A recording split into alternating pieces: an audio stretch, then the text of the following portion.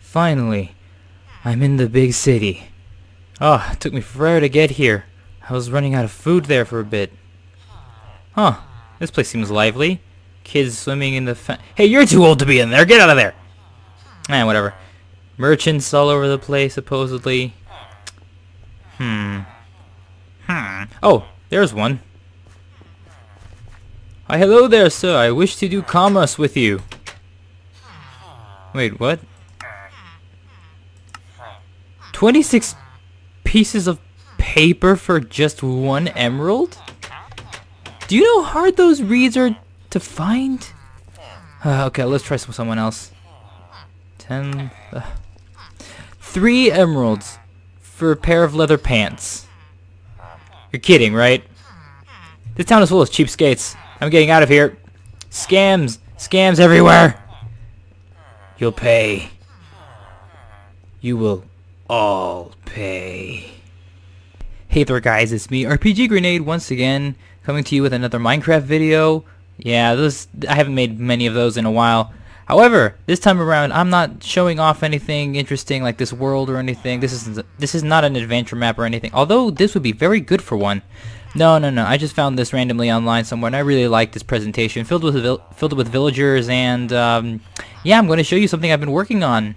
So lately, there's been these things, these uh, single command block uh, mods, vanilla mods, whatever the hell you want to call them.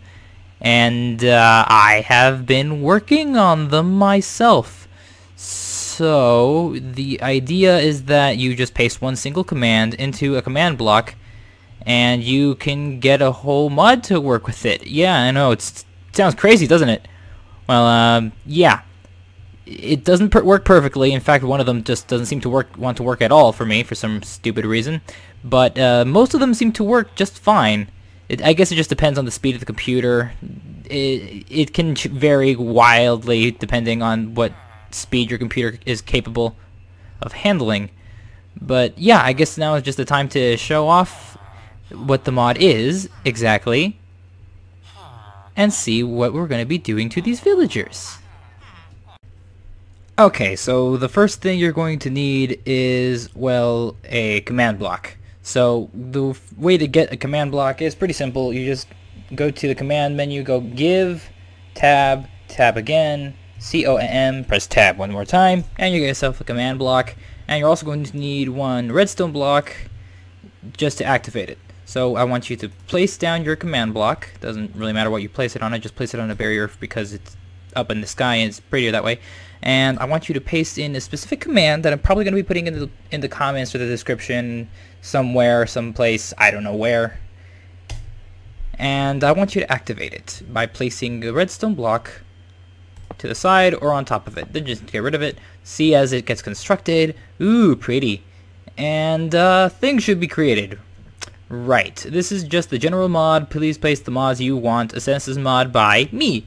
So basically this is the starter mob mod basically it's kind of like introducing several different programs to be able to use one big program because I could not fit the entire mod into just one big thing because it just wouldn't work unfortunately in fact it barely works with the several different kinds that I currently have anyways so uh, as it states pretty much you have to make another couple of adjustments here. So, okay, I think I've managed to do it quite well. The idea is to space them between each other with at least three spaces so that it can get the command block, the barrier block, and another command block so that it just doesn't, you know, kill each other. Well, let's hope this works actually because I haven't tested it yet. But the idea is that they're separated by three blocks each before placing them. Uh, the original one would go right around here, obviously. And now I'm going to show you one of the different assassins mod. Why the hell did they... Okay, never mind. Let's just ignore that for a moment.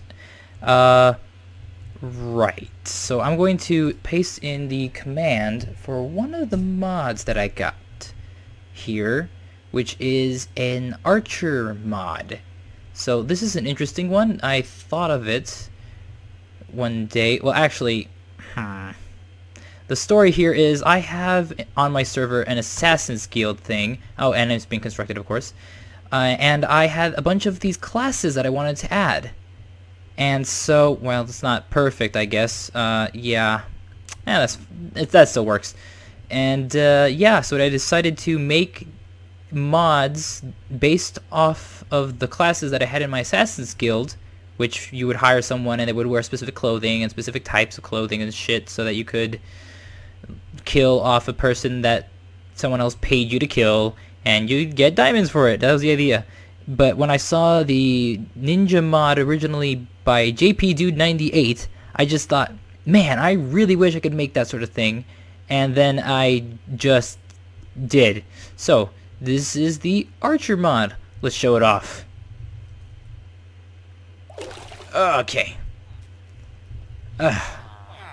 So the primary thing, get on my face. The primary thing about this mod is that it's pretty much based off of exactly what JP Dude 98 did with his How to Be a Ninja mod. So basically what you want to do to start off with is get yourself a set of leather armor and then a set of certain potions. For the archer one in particular, I decided to go with night vision potions. So the idea is that you just drop it down, And drop the other one. Oh, it made me a leather hel a leather helmet called the Hunter's Goggles. Now, what do they do?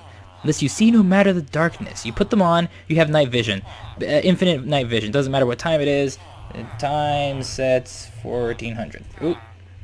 Oh, yep, night vision. There we go. Set, just set that back to day before monsters spawn. Okay, good. Um, same goes for the other armor. You just drop them. Oop, leather tunic. What does it do? It's lightweight, protects you from the elements. It gives you slight resistance, so you have a little bit of ability to, to, to resist attacks. And we have the Hunter's Pants. You can jump great heights to treetops. This gives you an insane amount of jump boost. And I mean, insane. Let me look at that. Woo! And finally, we have the leather boots, which will turn into the hunter's boots. You run swiftly through the grass.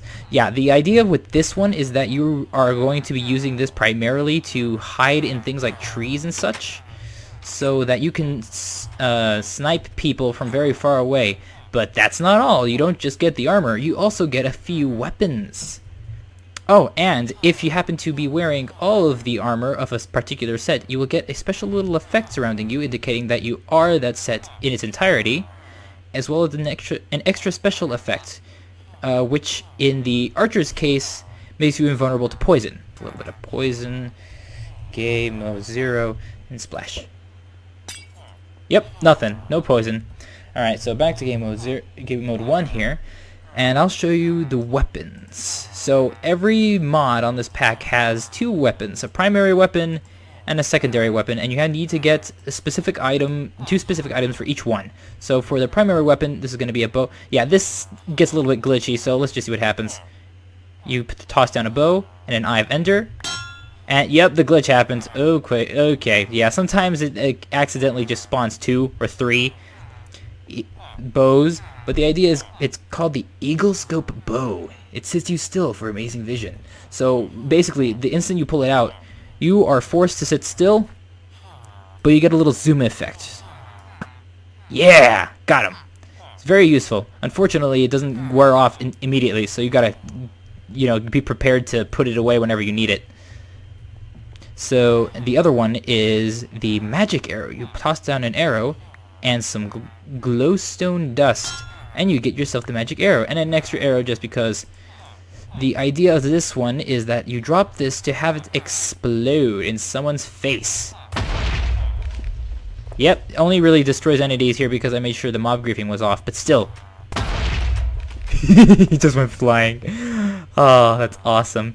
So yeah, the idea of this is that if someone were to say catch you in the ooh trees, let's go to the trees. That's exactly where this guy is strongest. The idea is that you're supposed to climb up onto treetops and shit like this. And you... Oh, also, I forgot to mention, when you get the Eagle Bow, you become invisible just so they can't really see your skin. Woo! Ooh, man, I almost got those two. Hmm, let's snipe one of them. Uh, oops, I got the wrong one. Oh well. Yeah, the zoom effect kind of distorts your ability to know exactly where you're shooting if you're too used to shooting. But this explosive arrow is very useful if you happen to get caught by your target, for example.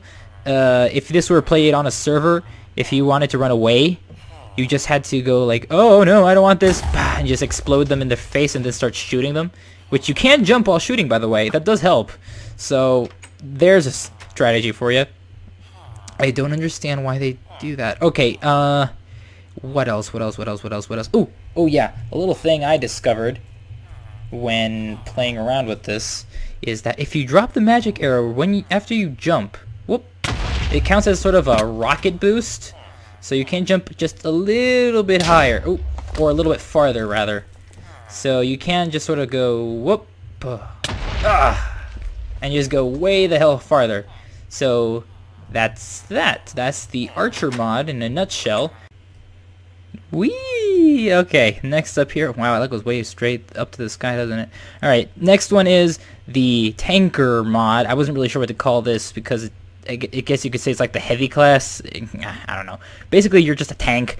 And the Tanker mod, well, you're about to see, it's pretty much what it sounds like. You become a, oh god, that frame rate drop. Oh, ah, god. Now that the frame rate's back to normal, I can show you that the next one uses drink potions. Of course, all the potions that I'm using are all with the 3 minute regular potions. So none of those 8 minute ones or the strength 2 potions. No, it has to be regular potions, normal length. Otherwise, it's not going to work. So you just do the exact same thing as before. Just drop a bunch of leather armor with the potions and they will start forming. There's supposed to be a particle effect, but like I mentioned before, there's glitches with this thing and it doesn't always work perfectly. Uh, so we have the Troll Scalp, gives you extra life to absorb more hits. The Ogre's Vest protects you against all attacks deflecting most damage. Heavy Padding, these slow you down but give your attack some oomph. And Heavy Boots, you can't be moved while wearing these heavy things. So let's just put all this shit on. Yeah! Alright. Ugh. Ugh. I am powerful. Ooh, I'm also really slow and sluggish. I mean, Jesus. I mean, and look at the little particle effects. I really, really love this little effect here. It really looks cool. Uh, but anyways, as you can see, my life went up by three hearts. That's the effect of the hat. You take the hat off, it goes away. Put the hat back on, you have it back. So the Ogre's Vest gives you resistance 3. The heavy boots make you slower. No, actually, no. These don't make you slower. The pants make you slower, and they make you stronger at the same time. Uh, you're the Oh yeah, and and these these boots, these fucking boots, they make sure you can't jump over block high things. Look. Ugh. Oop. Oh shit. Nope. Not what I wanted to do. Cancel. Oh Jesus, I didn't know you could do that. Well, now I know. You just you, you can't you can't do anything. You really really really can't. So you, you would have to take off the boots in order to jump over these block high things. See, it just worked. So you put them back on, no longer works. Gah. It's interesting. However, what the big thing about these boots is, even if I were to get blown up, shot at, this like just absolutely mauled, I would be able to just walk through it no problem. In fact, in fact, in fact, I'm gonna test this shit. You, you also can't fall from high places because apparently you're way heavier and it just hurts the shit out of it. Oh wait, no, I'm looking for a specific thing. Give me some TNT. 20. There we go. Well, this is not going to end well. Let's see what happens. Oh! Wow, that barely hurt me at all. That didn't really show off the effect of the boots, but that sure as hell showed off the effect of the tank's ability to survive. Jesus. Uh, okay, well, I guess I don't really have anything to show off, that sort of thing, because there isn't really many mobs that can push you around. But say if someone has a knockback sword on them, it's not going to do jack shit. That's the whole point of this thing. Alright, so showing off the weapons now. Let's see if I can get them out here real quick. Alright, so you're going to need an axe, some prismarine crystals, some melon seeds, and a slime ball. These will make the primary and secondary weapons. So first the axe. Oh, there we go. Got a Skull Cleaver Axe. What this does is what it sounds like. It just destroys things. Wait a minute. Right, right, right, right, right. There was a problem with one of the command blocks. So now I can actually show it off. What happens when is when you pull it out, you become much, much slower, but much, much, much, stronger. Watch this. Yeah. I'm just gonna get a little spawn villager thing just to. There we go. Just. Yeah. right. So the secondary weapon that this guy has is to complement his own slowness. What you have are sticky pebbles. Drop to make an enemy stand still. And by stand still, I mean stand the fuck still. I mean, if I were to use it on myself, watch what happens. I can't move. I can jump barely, but that's only because my of my boots, which specify a, a height I can jump at. Oh god, that lasts forever. But if I drop it on someone else, uh, they they can't move. Well, they. God, I fucking hate these things. All right, I'm going to have to do something drastic. Summon the creeper. He can't move. He's trying to get me. Can't touch me. Can't touch this. Can't touch this. Oh, well, until now. Okay, there. Then he dies. Yay! That's the tank mod in a nutshell. You become super slow, super tanky, and super powerful, and god, there's not enough villagers here. Uh, well. Alright, on to the next mod. Next up, we have the Paladin mod. This is to offset the tank mod that we just saw. This guy is going to be extremely fast, extremely quick, but pretty weak. That's kind of the, you know, the trade-off. All these have to have some sort of trade-off, right? Alright, so let's get started. It starts the same as usual. Leather cap, but use a swiftness potion this time. And you get a uh, chain helmet. Don't, don't ask that just because it looks better. You get this, the pants, the shoes, just like before. And we have these things. The Priest Helm grants resistance against the Holy Fire. We'll get to that in a moment. Gives you fire resistance, basically. Nice plate. Simple, but would help you sustain more hits. Gives you a little bit more resistance than the Archer, for example.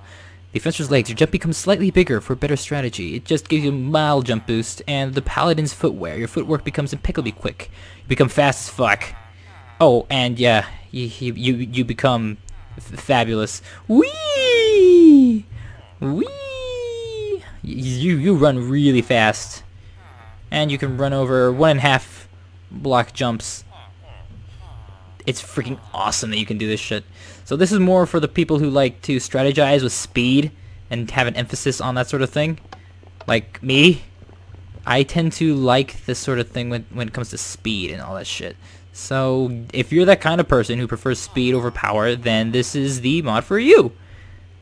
Okay, there we go. So let's get on to the items.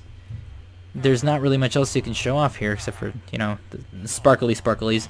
Uh, to make the paladin's weapon, you're going to need a golden sword and a blaze rod. And to get, you get the shield piercer sword. It doesn't actually pierce shields or anything. It's just a regular sword, except has Unbreaking 5. And speed is granted for sacrifice strength. You get weakness 3 on this thing, so killing is going to be a lot harder to do. But you can just, like, hit and run, hit and run, hit and run, hit and run. Just just go crazy on the hit and run. Seriously, this is taking forever to kill. yeah, you just make them suffer basically just by going, huh, and, and, oh, oh, yeah, click spamming, oh, oh, oh, yeah, and you basically just do that. It's not very powerful at all. In fact, I think against maybe if you were against a tank, you probably wouldn't survive. but, you know, shit happens. Uh, next is one of my favorites. I don't know how well this works, but we're going to have to give it a shot anyways. This is the Holy Fire. Whoa. oh man, that was unexpected. Um, yeah. So the Holy Fire, you drop to rain fire on your enemies. It doesn't quite do that unless game rule. Uh, mob griefing true. All right, now let's get this show started. So to do this one, you just just to show off the helmet, drop it on an enemy, and watch them burn like a paladin, like a priest. And you just walk through the fire, and it's not a big deal. Just go wee, and then jump in the water. Doesn't make a difference. So, this is a really cool one. It took me forever to figure out how to fucking do. And it doesn't matter. You don't need to be under the sky or anything. You can do it indoors or under a roof. It doesn't really matter. Watch, I'll show you. You'd be right underneath this bedrock here, and it'll do the same thing. Yep, still sets everything on fire. so you can clearly see how this can be useful. I mean, look at that shit. And you can just kill them off. Yes. you will never catch me. I really love the effects. Look at this shit.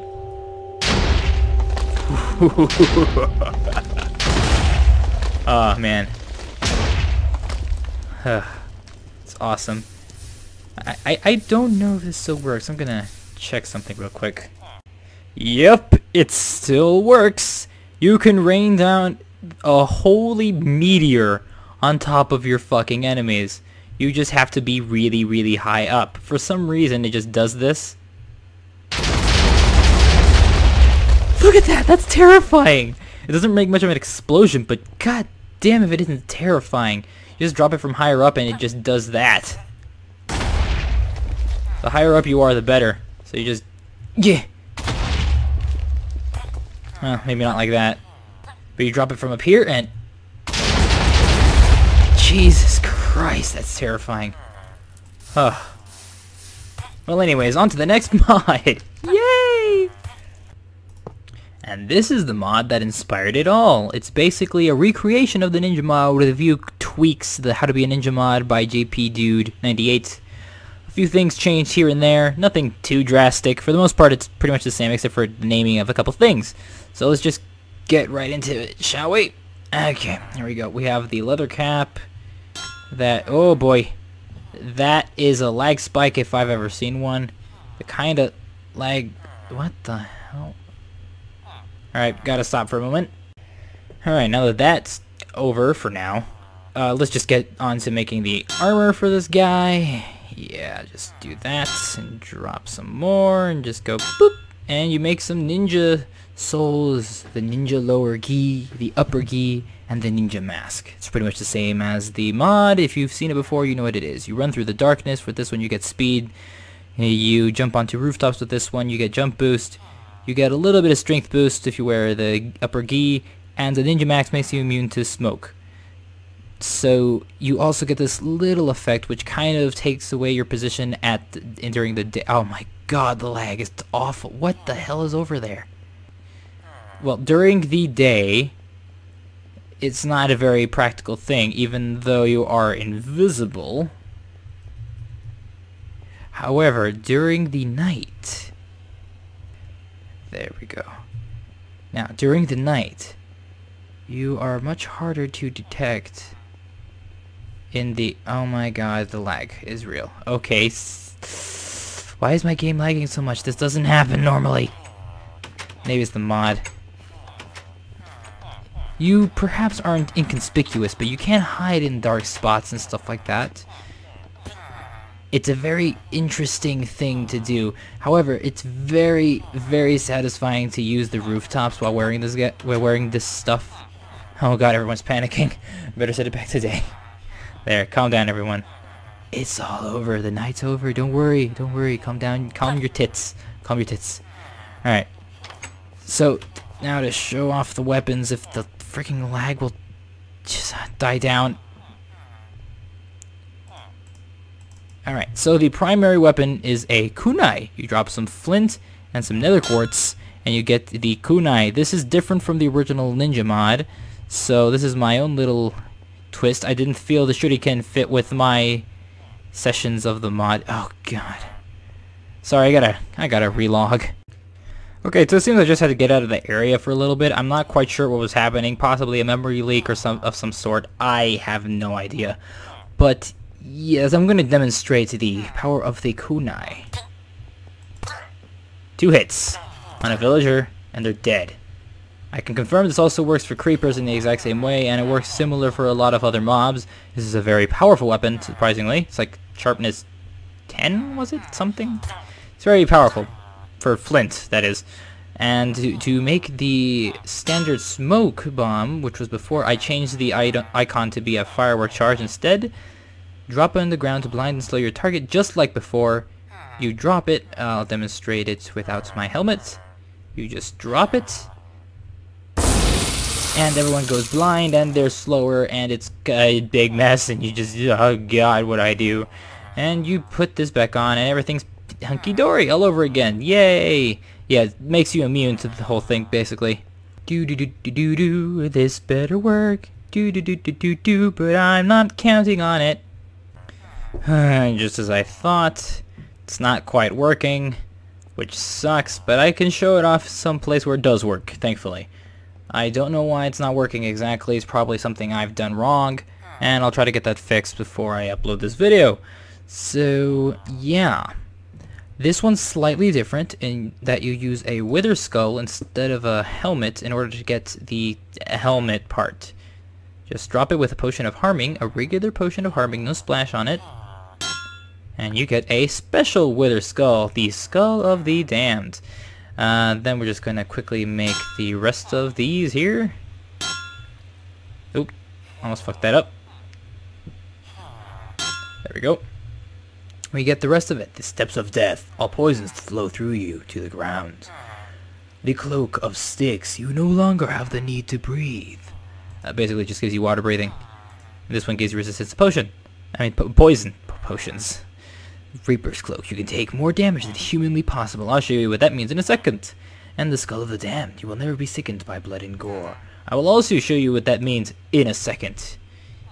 I am evil. Alright, so the next thing I wanted to show you... Oh, right, right. Show you what it is it means by more life than humanly possible. Look at my life bar. That's right, 20 hearts are given to the Lich class if you happen to wear all his stuff.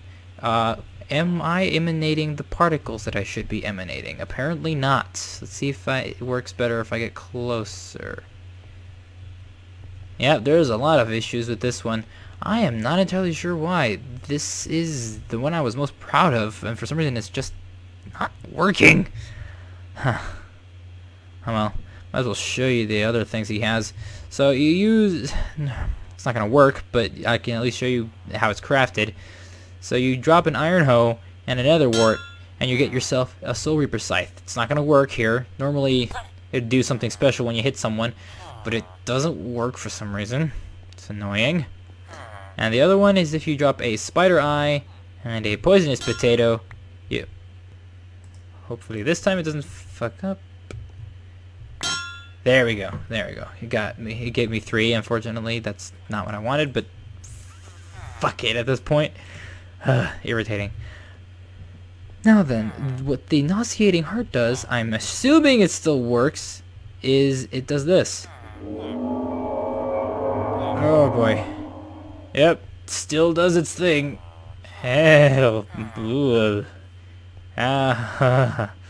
hmm. This is a class that is meant to weaken your opponents to get them down to as little health as possible while putting them at a huge disadvantage with things like this. The nauseating heart, which should make, well, technically he should be dizzy, but he just can't feel it. Can you, buddy? You can't feel it like I can. Ah, and this hoe is supposed to do something special, and I want to show it off later, so, but in the meantime, just put this on and show what it does. Oh, yes, by the way, when you drop this nauseating heart, it doesn't just give you nausea, it gives you hunger.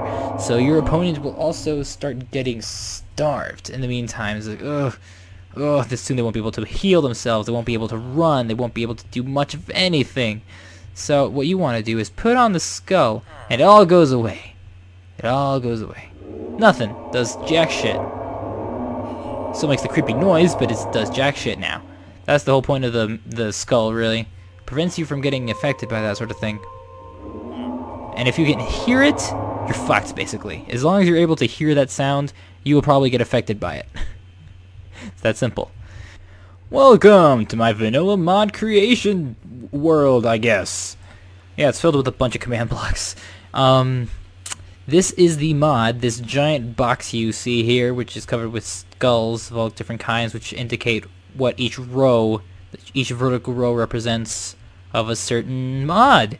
So this is just all the mods jam-packed into one thing, separated by their parts rather than the uh, types of mods classes that they are. This works way better, by the way, than all the other than the other ones. I which is I really want to get this into a schematic instead of the one command thing.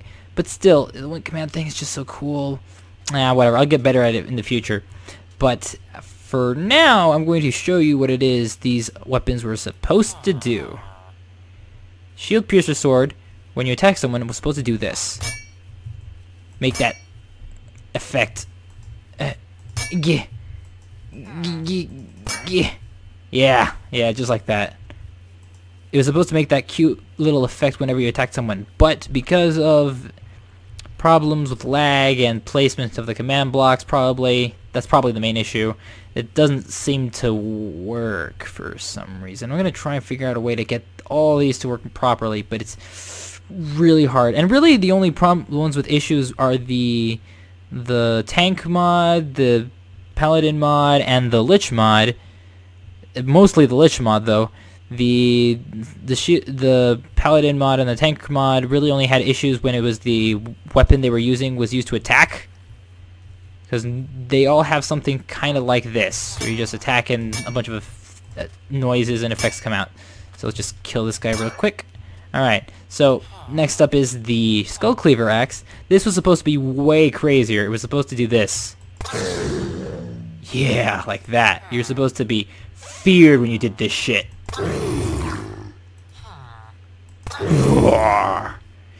and this one's interesting. This one, the Soul Reaper Scythe, was meant to do this.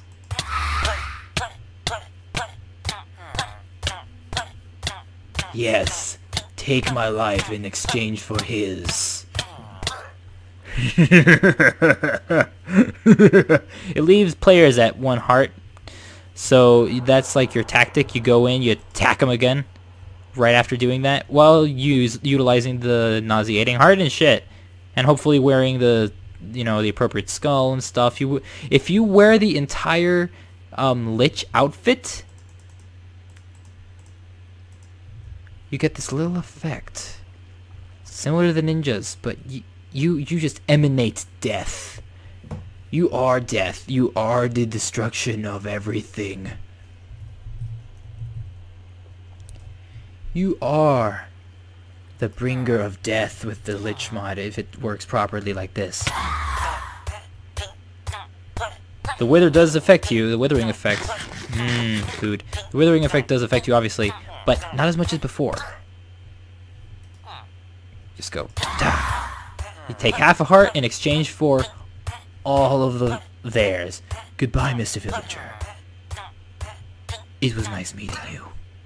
But if I can, I'll try getting this schematic out so you can MC edit it into your own world in a specific area, and it should work. All you would have to do would place a redstone block right behind that particular block there to activate the whole circuit. Same would go for here. So yeah, that is a thing, and that is the end of this Vanilla Mod Showcase. So uh, let me know if you guys like this. I'm going to try doing it a little bit more in the future if it's possible, because this stuff is really fun. But uh, I have a couple ideas as well, and I would really like to hear some suggestions of yours if you happen to have any. So yeah, until next time, I'm RPG Grenade, your host and your player. And I'll see you next time. Isn't that right?